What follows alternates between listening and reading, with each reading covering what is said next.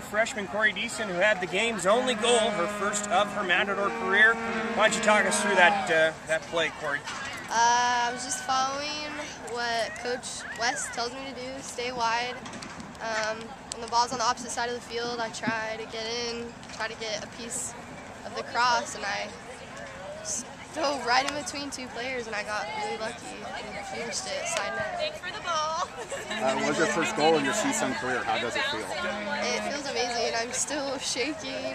Um, just to know that I made my team proud is one of the best feelings I've ever felt in my whole entire life.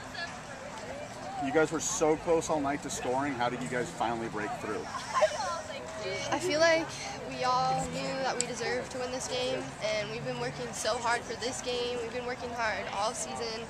Um, I just feel like all of our emotions and hard work finally pushed us through, and we were able to pull out a win. Okay, we're here with senior goalkeeper Cynthia Jacobo.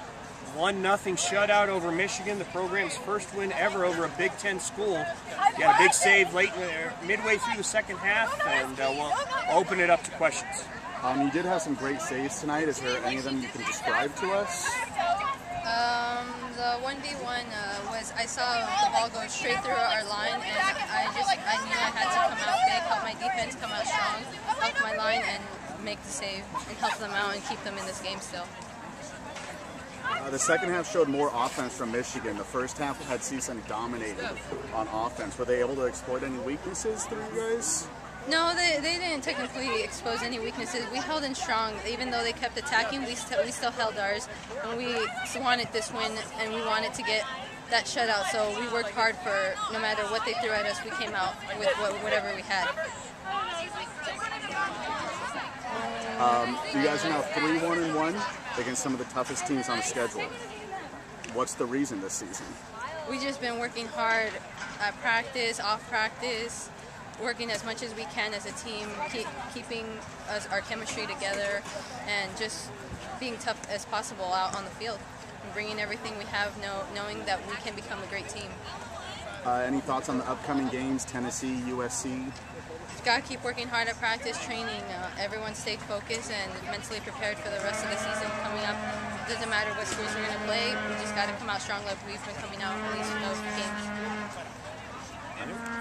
Head coach Keith West, Matador's 1 0 win over Michigan, the program's first ever over a Big Ten opponent. Uh, can you talk us through that goal, the one, the one difference on the scoreboard? That was a fantastic finish by Corey, but a great service on the ball. You know, we uh, we battled the whole game. I thought we had other chances to win this game, that's a great team though. They came back. You know, I thought uh, first half we had good control of the ball, but the second half they started coming after us.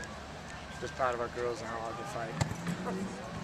So far, you guys are 3-1-1 on the season against some tough competition. What's the secret for success this year? Um, experience, uh, talent, our good players. You know, when you got good players, you have a chance to win every game. You guys are off to a fast start. Could this be that special season?